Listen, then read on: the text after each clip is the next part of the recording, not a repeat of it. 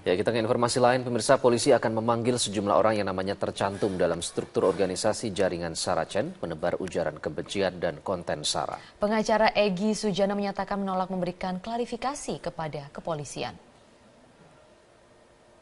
Nama Egy Sujana, ex pengacara Habib Rizik, disebut-sebut menjadi Dewan Penasihat dalam organisasi Saracen. Menanggapi hal itu, Egy membantah menjadi bagian dari jaringan Saracen yang diduga terlibat sebagai penebar ujaran kebencian dan konten SARA. Egy juga meminta agar polisi sebaiknya melakukan penyelidikan terlebih dahulu terkait Saracen sebelum memanggil dirinya. Karena itu ia merasa tidak perlu memenuhi undangan pihak kepolisian. Sementara itu, analisis kebijakan Divisi Humas Polri, Kombes Sulistio Pujo menyebutkan tidak semua pemanggilan polisi akan ditetapkan sebagai tersangka. Sulistio mengimbau agar seluruh nama yang masuk daftar kepengurusan jaringan Saracen. Maka dalam konteks penyelidikan, saya meminta kepada pihak kepolisian, jangan panggil-panggil saya. Atau undang-undang saya, tidak perlu. Tapi cari tahu dulu kenapa nama saya ada di Dewan Penasehat Saracen itu kenapa? Selidiki dong. Ada nggak bukti tanda tangan saya kehadirannya dalam pertemuan? Ada rekamannya nggak? Ada bukti-bukti lain apa yang menunjukkan saya ada di dewan itu?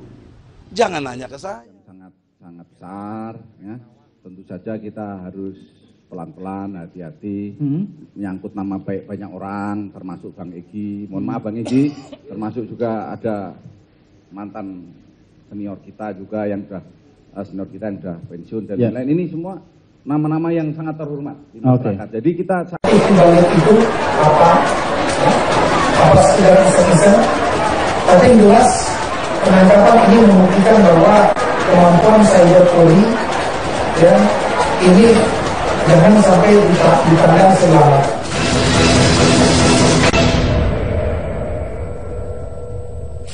Pemirsa Mabes Polri mengaku sangat berhati-hati untuk mengungkap siapa aktor, pendana, dan juga klien dari kelompok penyebar berita hoax, konten sara, dan ujaran kebencian Saracen. Meski demikian, Polri menegaskan tidak ada satupun dari jaringan kelompok Saracen yang akan lolos dari proses hukum.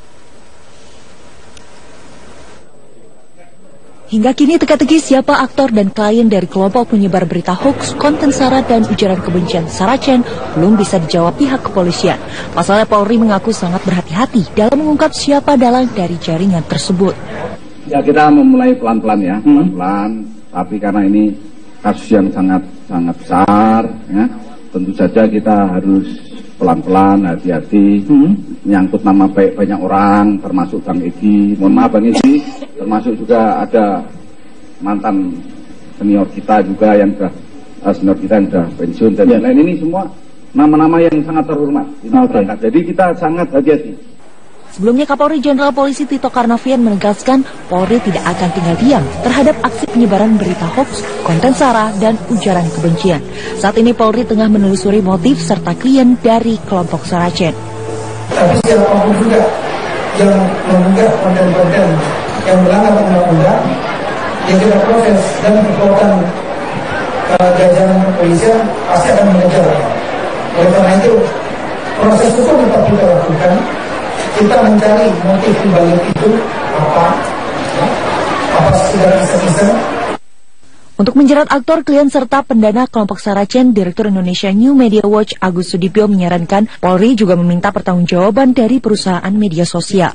Oleh karena itu, saya sebenarnya mengharapkan sekali pada kepolisian bagaimana agar Facebook itu menjadi subjek hukum di Indonesia hmm. menjadi pihak yang juga harus bisa dimintai pertanggungjawaban di sini.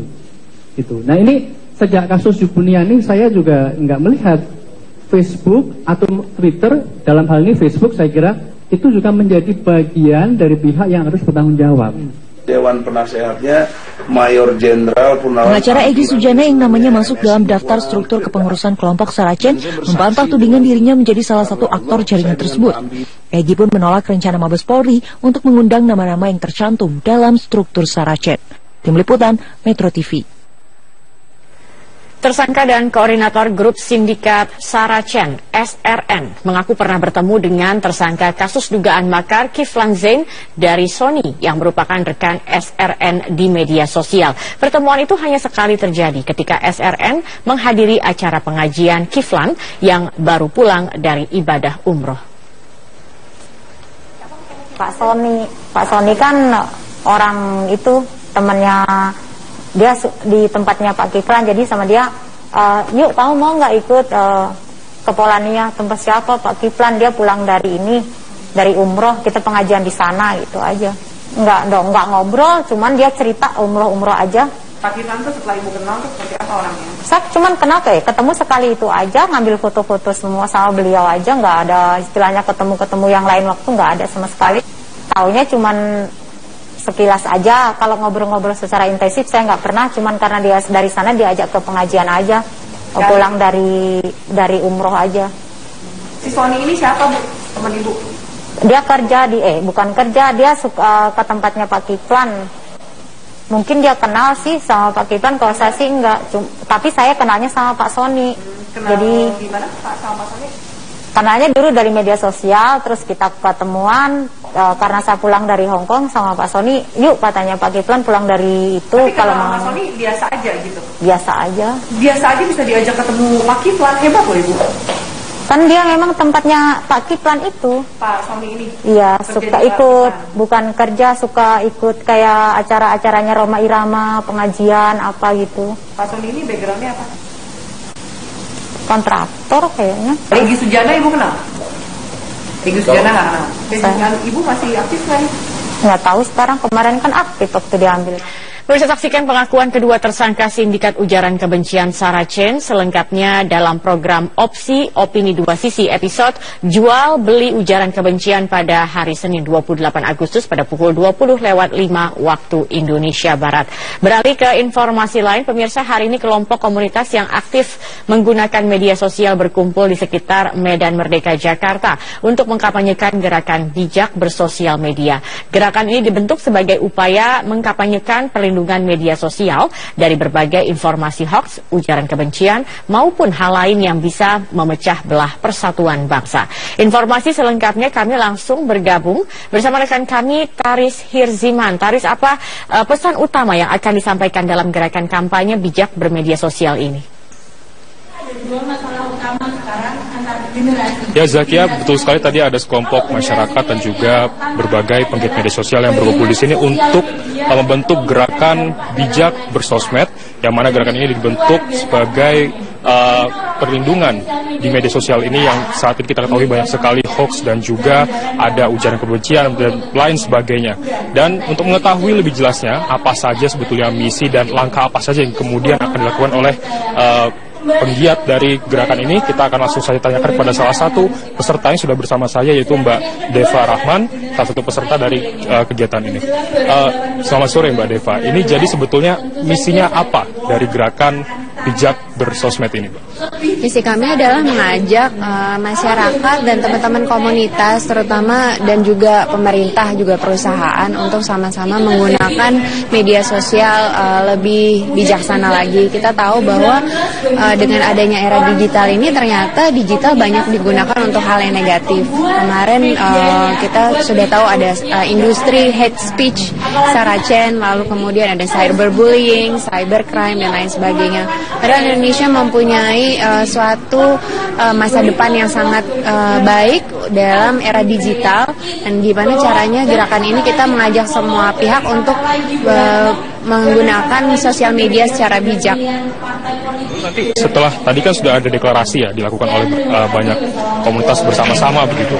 Apa kemudian langkah selanjutnya akan dilakukan setelah deklarasi ini? Bentuk seperti apa perlindungan dan juga upaya untuk mencegah hoax dan lain sebagainya di media sosial itu, Mbak? Kita terutama kita akan membuahkan gerakan-gerakan uh, apa pertemuan-pertemuan di seluruh Indonesia baik secara virtual maupun langsung ya karena kita menggunakan uh, sosial media juga untuk uh, mengajak teman-teman komunitas perusahaan lebih banyak dan juga pemerintah tentunya. Uh, dan uh, memberikan edukasi yang paling penting adalah gimana sih caranya posting yang positif dan tidak uh, terjebak di dalam suatu konflik sosial yang akhirnya membuat Indonesia lebih terpecah lagi. Kita kan kemarin baru merayakan hari kemerdekaan. Uh, kita merdeka tapi ternyata kita tidak merdeka di dalam era digital ini karena kita terlalu terjebak di dalam konflik sosial di era digital. Satu lagi Mbak, Mbak Deva sendiri kan sebagai peserta dari gerakan bijak ber sos uh, sosmed ini, apa nanti yang akan Mbak Deva lakukan setelah selesai mengikuti gerakan ini? Uh, saya uh, terus terang akan uh, bersama teman-teman dan uh, di dalam komunitas akan pergi ke sekolah-sekolah untuk mengajari caranya gimana sih posting sosial media, terutama untuk uh, melakukan recheck dan balancing sebelum kita posting uh, di dalam sosial media sendiri. Terima kasih banyak Mbak Deva atas waktunya Mbak. Uh, demikian pemirsa wawancara kami dengan salah satu peserta dari gerakan bijak bersosmed ini dan saat ini kegiatan masih berlangsung dengan diskusi yang melibatkan seluruh peserta untuk uh, mencari jalan dari uh, cara untuk melindungi sosial media dari berbagai informasi hoax yang dapat memecah belah bangsa Indonesia. Zakia. Baik, Taris Hirziman terima kasih atas laporan Anda. Pemirsa masyarakat Indonesia yang hipersosial dengan pengguna aktif internet yang tinggi. Ini menjadi lahan subur menyebarnya berita bohong. Energi negatif viral menyebar ditelan mentah-mentah oleh pengguna yang menyampingkan logika dan minim literasi.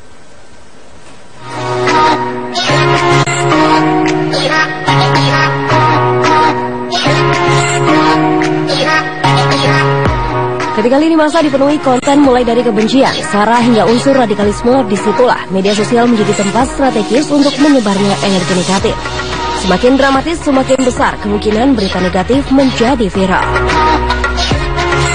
Riset yang dirilis oleh We Are Social dan Hootsuite April lalu, di dunia dengan angka populasi 7,5 miliar jiwa, 51% di antaranya adalah pengguna internet aktif. 3.028 miliar jiwa menggunakan internet untuk mengakses media sosial. Mudahnya memiliki ponsel pintar pun mendukung munculnya 5.052 miliar orang yang aktif berinternet lewat ponsel mereka, juga aktif menggunakan media sosial dengan tingkat penetrasi 37 persen. Angka ini terus bertambah. Tahun 2017 jumlah pengguna media sosial aktif berkembang di angka 1 juta pengguna baru tiap harinya. Facebook menempati porsi signifikan dalam pertumbuhan media sosial sejak April hingga Agustus 2017 dengan jumlah keseluruhan pengguna mencapai 2 miliar akun.